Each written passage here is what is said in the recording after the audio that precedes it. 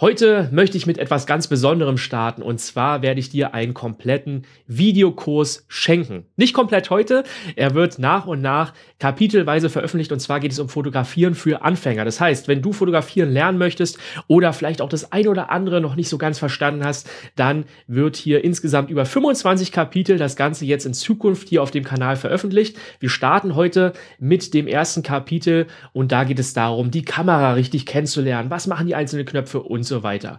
Und natürlich kannst du diesen ganzen Kurs auch nach wie vor komplett erwerben auf meinem Online-Store. Dort gibt es auch zusätzlich noch PDF-Dateien, wo man nochmal nachgucken kann, die man sich ausdrucken kann und in die Fototasche packen kann. Also da gibt es noch so ein paar Bonussachen obendrauf, aber natürlich hier heute jetzt auch kostenlos das erste Kapitel. Ich freue mich und ich hoffe natürlich, dass du dich genauso freust. Und ich möchte auch nochmal ganz kurz an dieser Stelle erwähnen, wir haben nach wie vor den Adventskalender. Jeden Tag gibt es eine Verlosung, jeden Tag bringen hier Firmen ein paar Produkte mit rein, die wir verlosen können. Du kannst ganz einfach kostenlos mitmachen, einfach dem ersten Link in der Videobeschreibung folgen, einmal mit der E-Mail-Adresse anmelden und dann bist du für alle Verlosungen, die auch jetzt in der nächsten Zeit jeden Tag kommen bis Weihnachten, automatisch mit dabei. Heute gibt es Lumina Neo in der Verlosung und zwar zweimal. Das heißt, zwei Leute können das Ganze gewinnen und zwar nicht in der Abo-Version, sondern in der Lifetime-Version. Das heißt, du kriegst es einmal und kannst es auch für immer behalten.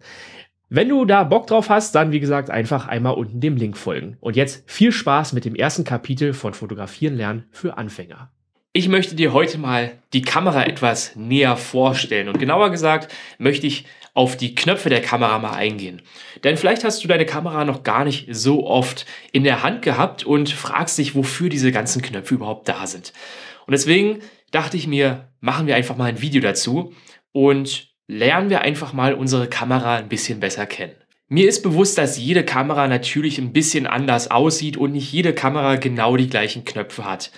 Aber so die meisten Knöpfe ähneln sich dann doch schon relativ und man kann zumindest für jede Kamera so diese Basic-Knöpfe mal genauer besprechen.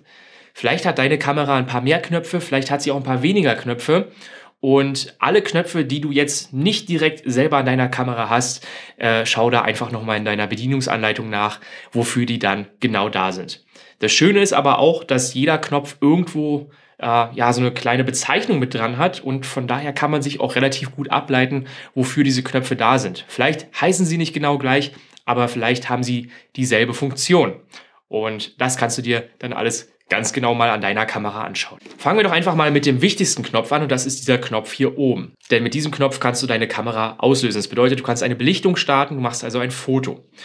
Wenn ich den zur Hälfte durchdrücke, dann fokussiert meine Kamera einmal, das heißt, die Kamera stellt scharf und wenn ich voll durchdrücke, dann mache ich ein Foto, das heißt, ich belichte. Das ist dieser Knopf hier oben und der ist auch bei jeder Kamera da, ohne dem funktioniert es halt gar nicht. Ich kann äh, hier gleichzeitig noch mit diesem Ring drumherum einmal meine Kamera an- und ausstellen. Da steht also Off und On. Ja, Off ausgeschaltet, On.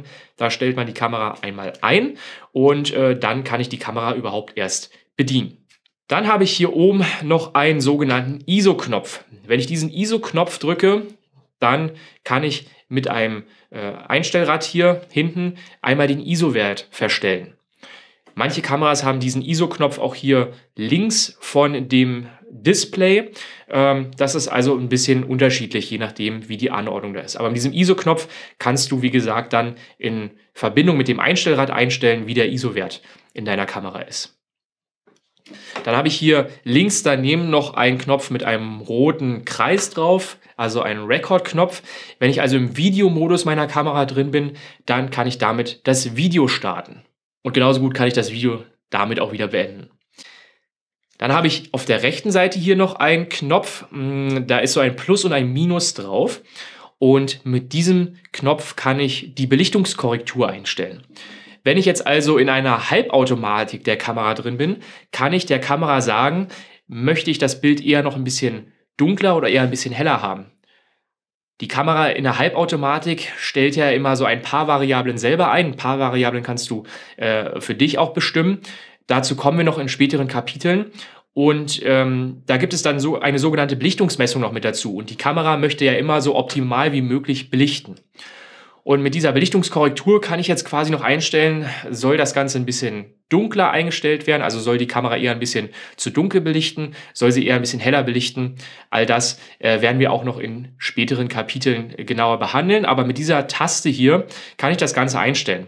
Und wenn ich diese Taste gedrückt halte und dann hier an meinem Einstellrad drehe, kann ich das Ganze dunkler oder heller machen. Was auch jede Kamera hat, ist eigentlich hier einmal die Taste, diese Play-Taste. Damit kann ich nämlich meine Bilder begutachten. Wenn ich Bilder gemacht habe, kann ich danach dann reingehen in das Menü und kann diese Bilder dann nochmal auf dem Display mir anzeigen lassen und äh, kann dann da auch entsprechend durchscrollen. Was auch jede Kamera eigentlich hat, ist der Mülleimer. Ja? Damit kann ich nämlich meine Bilder dann entsprechend löschen. Wenn ich mir die anzeigen lasse, kann ich danach dann sagen, ich möchte die löschen und dann kann ich das auch äh, einmal bestätigen. Was ich dann hier noch habe, ist einmal ähm, die Funktion zwischen Foto und Video. Da kann ich hin und her schalten, einmal mit diesem Einstellrad hier. Und ähm, dann habe ich hier noch einmal ein Display. Äh, Button, wo ich quasi dann auch nochmal einstellen kann, soll das Display hier aktiviert sein oder nicht. Was auch jede Kamera eigentlich noch mit dabei hat, sind diese beiden Tasten hier unten. Und zwar einmal das äh, Lupensymbol Plus und das Lupensymbol Minus.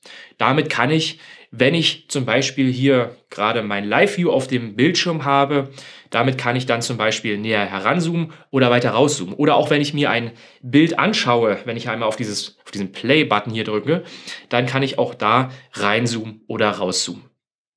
Dann habe ich hier noch eine Menütaste, damit kann ich in das sogenannte Kameramenü reingehen. Ja, das hat eigentlich auch jede Kamera mit dabei. Und äh, hier oben drüber habe ich hm, so eine Art Joystick. Also ich habe einmal einen Button nach oben, nach unten, nach rechts und nach links. Damit kann ich so ein bisschen in der Menüführung äh, navigieren zum einen. Ich kann aber auch, wenn ich weiter reingezoomt habe, ähm, kann ich dann noch in dem Bild hin und her scrollen. Und ich habe in der Mitte einmal eine OK-Taste. Ja, damit kann ich dann auch im Menü zum Beispiel sagen, ich möchte auf diesen einen Menüpunkt draufgehen, bestätige das Ganze einmal und so weiter und so fort. Dann habe ich hier noch eine Infotaste. Ja, wenn ich zum Beispiel im äh, Live-View drin bin, dann kann ich mit dieser Infotaste auch einmal mir so ein Kurzmenü aufrufen. Oder aber auch, wenn ich mir Bilder anschaue, kann ich mir damit bestimmte Informationen nochmal heraussuchen. Und ich habe hier unten einmal einen Knopf, den hat jetzt nicht jede Kamera. Ähm, da kann ich mir einmal die Serienbildfunktion äh, aufrufen. Das heißt, möchte ich mehrere Bilder hintereinander machen, möchte ich nur ein einzelnes Bild machen, möchte ich den Timer einstellen. Das bedeutet, ja, ich kann hier auch nochmal einen Selbstauslöser einstellen. All das geht über diesen Knopf, aber den hat nicht jede Kamera. Da muss man vielleicht auch einfach über das Kameramenü mal gehen und äh, kann das auch entsprechend dann einstellen. Hier oben habe ich jetzt noch zwei Einstellräder. Einmal hier hinten eins und einmal hier vorne eins. Das ist auch von Kamera zu Kamera ein bisschen unterschiedlich.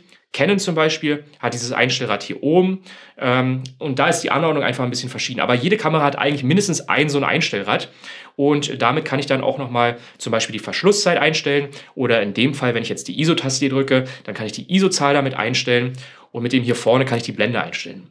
Aber wie gesagt, da hat jede Kamera für sich ein oder zwei Einstellräder musst du dann einfach entsprechend mal gucken.